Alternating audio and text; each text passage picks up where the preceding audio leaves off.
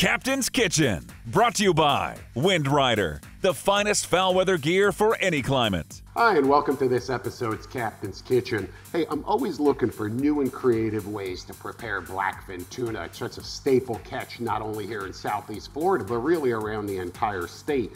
What we're gonna do today is a really simple, delicious, super healthy tuna tartare.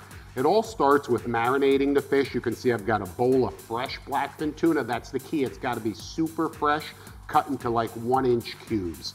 The sauce is really simple. I start with about oh, about a half a cup of ponzu flavored soy sauce. From there, I add equal parts of honey, sesame oil, a couple of tablespoons of green onion, equal parts fresh chopped garlic, fresh ginger, fresh juice from about half a lime if it's a small lime. Don't be afraid to go with a whole one. And I just put in a little bit of toasted sesame seed, pour that right on the tuna. Refrigerate for, I don't know, anywhere from a half hour to two hours before plating.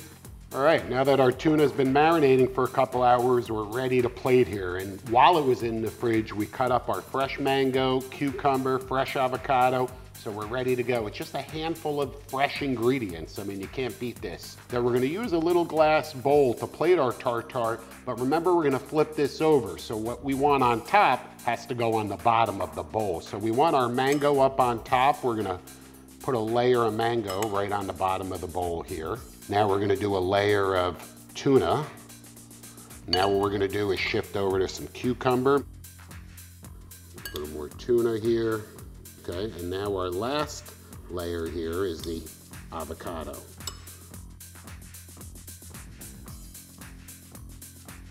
Again, we've got our tartare right there, our plate. Now what I'm gonna do is just place that plate centered right over top and with my fingertips, I'm gonna grab that bowl right on the bottom and I'm gonna try and just flip it just like that right there. And then gently put it down, okay.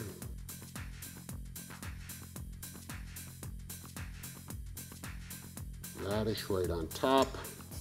a little green onion over the top of it. Just a little bit of sesame seed.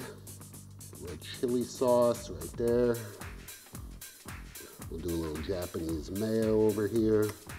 And that right there is my fresh blackfin tuna tartare with fresh avocado, fresh cucumber, fresh mango.